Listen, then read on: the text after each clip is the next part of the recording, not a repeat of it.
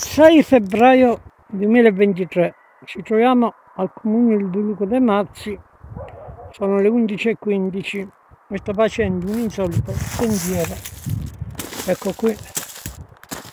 Questo la maggior parte delle persone non lo fanno quasi mai perché è scosceso c'è pietra poi specialmente nei mesi invernali. E qui richiede doti atletiche essere molto agili.